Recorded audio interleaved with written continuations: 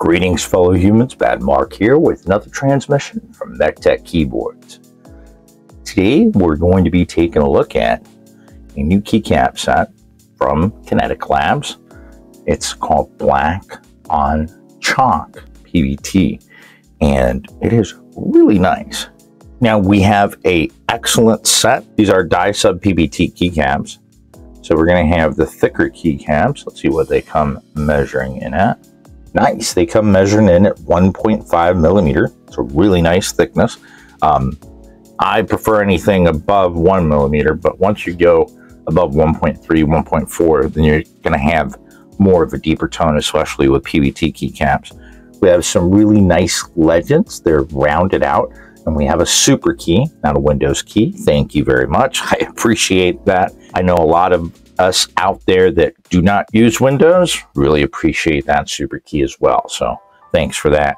Um, we do have a number of selections for not only, well, the majority of the modifier keys. Uh, not only do we have the Kinetic Lab logo, we have one use of the modifiers on the right side of the space bar, say like a 65 compressed um, or even some of the 75 compressed. We, we do have three different colored ISO uh, enter keys, the L-shaped, uh, the uh, upside down L. I think there's two types of L. So those might actually be the ISO JIS, but I can't recall at the moment. We do have a couple different selections, not only with the white um, the black on white escape key. We have the blue with the black legends. I think that, yeah, they all pretty much going to have the black legends, but we have it in that light green as well as that pink. Um, it seems a lot of those keys are available in those different colors, at least a lot of the modifier keys. Pull this out, we can get into the third tray. We see that we do have um, not only an out alternate color spacebar, but we also have uh, both in both colors. We have the Tsangan bottom row spacebar so that we could, you know, actually do it. And it does have all the modifier keys for that.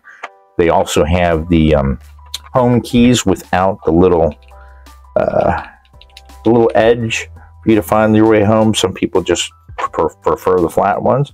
So they have that. They have the single use shift. Um, they do have another ISO key here. I do believe that they have all the ISO, the general ISO keys available.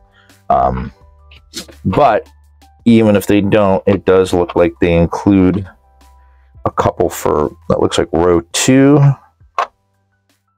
and row, that'd probably be row, row one. Mm, what's taller? Well, it has, they have a combination of some blank keys as well, just in case, you know, you either want it blank or you don't have a key and that's replacing it. So it does have those nice, uh, it also has a step caps lock and the shorter backspace if you have the split, split backspace.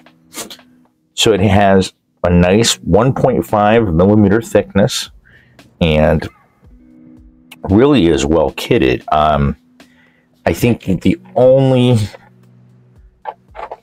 more popular layout that it wouldn't cover between the 60% uh, uh, and a full size would probably be not having the um, the extra B and the um, I believe they're two and three quarter or 2.75 use space bars for the split space bars. But other than that, I think they will cover the majority of the other kits in that space range from 60% on up to a full size. So I went ahead and loaded up some of the keys from the black on chalk PBT set onto this TG67 V3. Um, and that's what we're going to do the sound test on. They are also loaded with the Kinetic Labs linear latte switch, which is a really nicely weighted, it's not too light, but it's not too heavy, linear switch that has a, I wouldn't say I wouldn't say muted, but it has a softer bottom out. Well, try as I might, I am unable to find the uh, specific materials that this is made out of. I see a lot of other ones are either made out of a nylon PA12 mix, and the stems are POK. I can't say if this is the case in that situation. A lot of the HMX stems appear to be POK 12 or made out of POK material. They are quite soft um, and you can definitely feel uh, they are pre-lubricated. We do have a single stage 63 and a half gram spring, uh, which is, in my opinion, is one of the, the best weights, anything in the 60 to 65 gram range. Although uh, I'm sure you've, you've noticed that there will be some springs that rate lower but feel heavier and vice versa. So we've got a really nice tight housing. We've got a little bit of a darker, almost cafe con leche, and a little bit more of that latte whipped milk kind of creamy color on the top with the stem bringing out a little bit more of the bottom color. Uh, we can see, as with most HMX switches, there is literally no wobble north to south and no wobble east to west. They are perfectly in there. They fit nicely.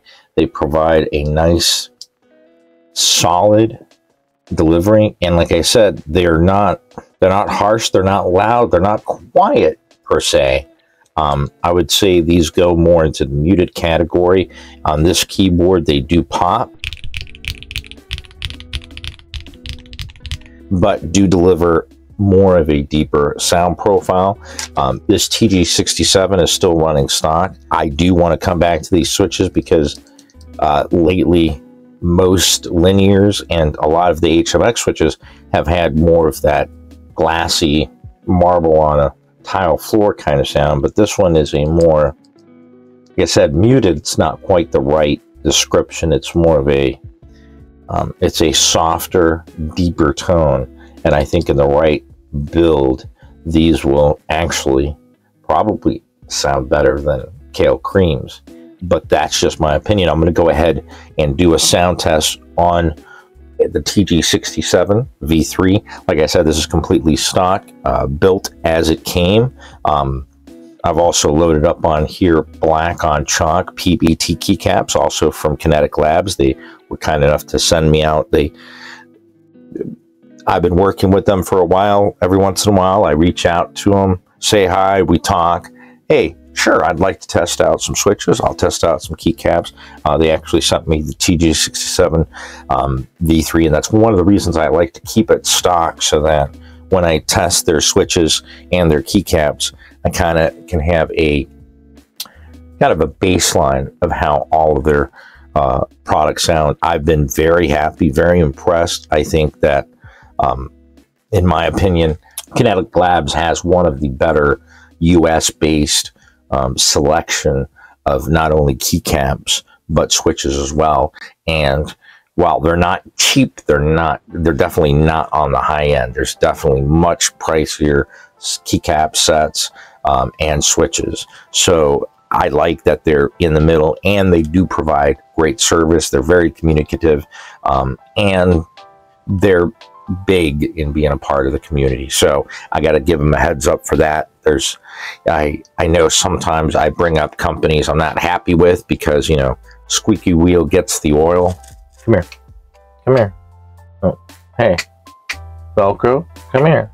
If you're gonna come in here, you got to come in here. Come here. All right. Well, the cat's gone. Um, but I also want to make it a point to you know, let let be known of the companies that are actually doing good in the community. They're providing good products at a decent price. Um, they do good shipping, quick. Um, their service is excellent. Um, I I don't believe I've ever read a negative review on Kinetic Labs. So I'm not saying they don't exist, but and obviously that's more of a anecdotal. But I know everyone that I've spoken to, they enjoy their products. Um, and they find them to be of good quality as well. Anyway, I am going to leave you guys with a stock sound test of the Kinetic Lab Latte switches loaded up on a TG67 V3 as well as um, die sub PBT black on chalk uh, sent from uh, Kinetic Labs as well. If you have guys have any questions, uh, please do let me know down in the comments below. But, but like I said, I'm probably going to be coming back to this latte switch because it's something that um, I'm more of a tactile guy. Don't get me wrong, but I do like and have. Come here. Uh, all right. So, if you haven't met him, this is about he part of the family. He is a big baby. He's, uh, he's uh, 11 years old this year, right? Huh? The camera. So anyway, here's a kind of cat tax if he he knows cameras are looking at him. Sometimes he's like all about taking pictures. Sometimes he's like, nope, I don't want to be in front of the camera. I'm going to pretend it's not there. I'm going to go ahead and leave you guys with a stock sound test of the Latte switch from Kinetic Labs made by HMX. A nice linear 63.5 gram um, switch with some with black on chalk PBT 1.5 millimeter PBT uh, die sub keycaps on a stock TG TG67 V3 from Kinetic Labs. I do hope that you enjoyed my quick review of the Switch and the sound test. If you have any questions, any comments, please leave them down below and hitting the thumbs up, hitting subscribe does go a long way. And I just want to wish everybody out there in YouTube land a wonderful day. And until the next transmission, keep calm and keyboard on.